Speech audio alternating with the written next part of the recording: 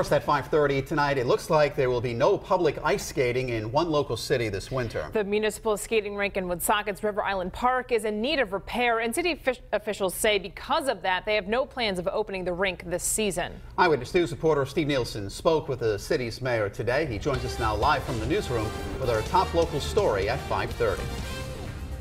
The mayor told me that the preventative maintenance to the ice skating rink has been so bad that the siding is just splintering off and is frankly unsafe. And because of that, skating at the very least is on hold. It's December, and as the temperature drops, many communities enjoy it by strapping on skates and hitting the ice rink, like here in downtown Providence. But this is Woonsocket's River Island Park ice skating rink. It's foolish to move forward with opening it.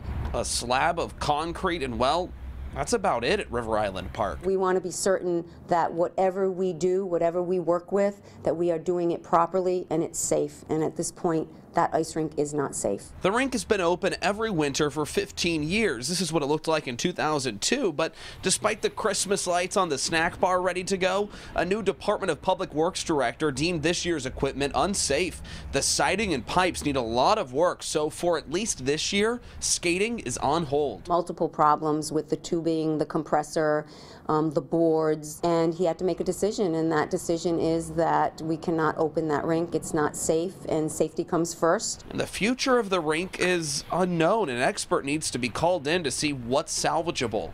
The hope is to have it open next winter. I am committed to moving forward to getting this ice rink back online and the normal yearly budget set aside for this ice skating rink. The operating cost is about $50,000, so the fixes to it would be much more than that. So the mayor is hoping that she can secure a sponsor to help offset some of those costs.